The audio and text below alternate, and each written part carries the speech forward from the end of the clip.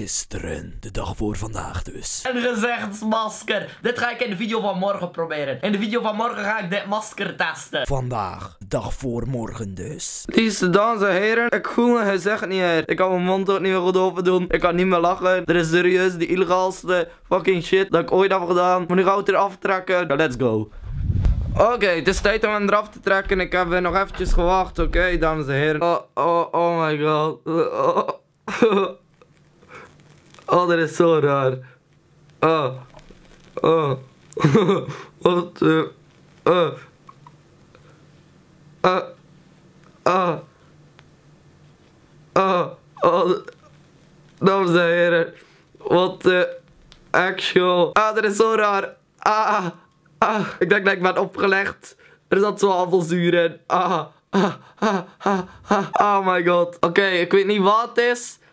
Ah, ah, het voelt wel, het voelt speciaal. Maar oké,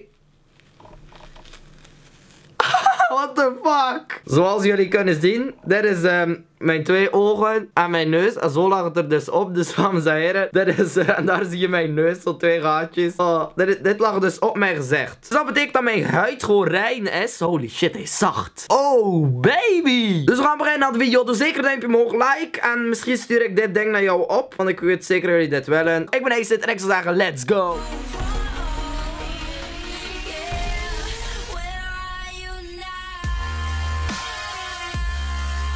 YouTube, Acer hier met vandaag een nieuwe video op mijn kanaal. Vandaag vertel ik jullie dit. Ik draag deze lelijke gekleurde handschoenen van mijn mama, omdat het zo koud is en omdat ik anders op school kom en ik mijn handen niet meer uit deze positie krijg, dat, dat gewoon klauwhanden zijn. Ik weet niet of jullie het kunnen zien, maar er zitten glinstertjes op. Het is echt fucking gay.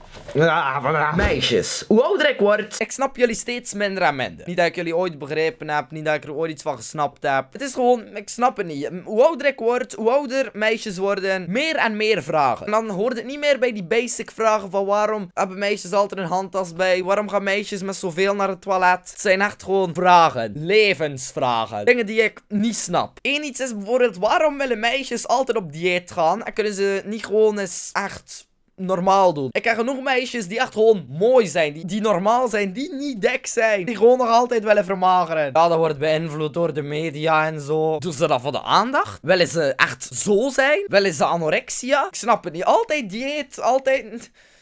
Ik snap het niet. Ik snap wel dat je wil een beetje letten op je lijn en zo, dat je niet dik wil worden. Snap het gewoon niet. Ook dan op vlak van jongens. Wat wil een meisje? Wat is die jongen die... Die.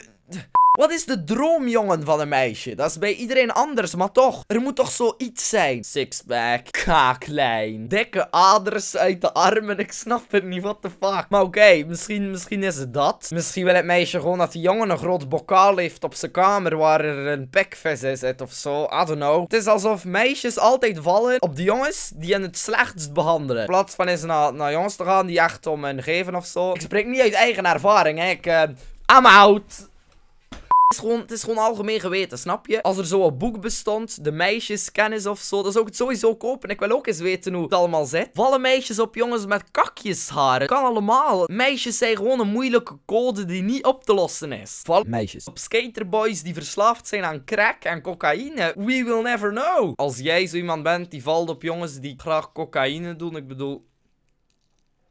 Het is geen cocaïne, hè? Hey!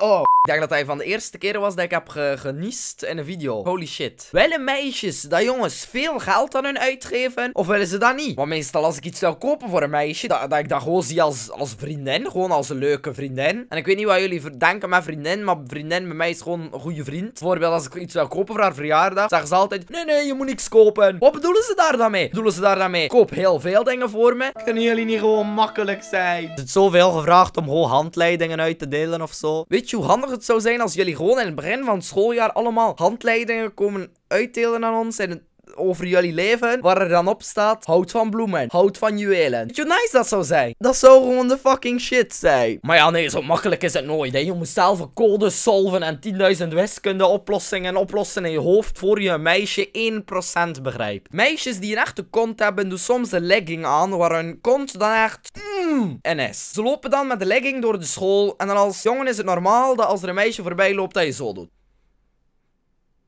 Oh, oh.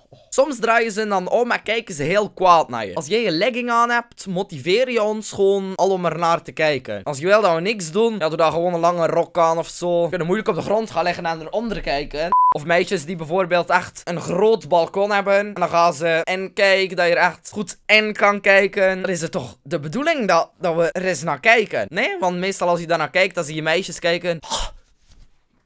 Vinden meisjes het stoer als jongens zeggen in de klas? Ik heb niet geleerd, ik heb er niks voor gedaan. En dan krijg je je toets terug en heb je nul. En dan zoals mij. Zie je? Ik heb er eigenlijk niks voor gedaan. Vinden meisjes dat dat stoer? Vinden ze dat opwindend? Of vinden ze het al leuker als een jongen een toets terugkrijgt en een 10 heeft? En als... Kan je een boek kopen waar er staat hoe meisjes werken? Ik heb hier een boek. Het Hoe zit dat boek? In dit boek zou de moeilijkste vragen beantwoord moeten worden. Het staat helemaal vol met vraagtekens. Dus mijn vraag zou er ook wel in moeten staan. Hoe is de mens dat de aarde rond was? Hoe kan je het best met geweld omgaan? Hoe kan je groter worden? In dit boek staat er ehm, duidelijk niks. En geen antwoord op mijn vraag.